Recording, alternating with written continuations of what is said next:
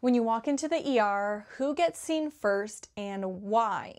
There's been a recent case at a local hospital that made headlines after a patient didn't get timely care following triage. Triage here isn't first come, first serve. It's based on acuity, who is the sickest, most unstable, or at risk of deteriorating. Chest pain, stroke symptoms, airway obstruction, these patients are seen immediately, even if someone else has been waiting for hours. The lawsuit at this local hospital shows what can happen when triage misses a red flag. A patient with subtle but serious symptoms wasn't recognized as high priority, and their condition worsened while waiting. This is why frameworks matter.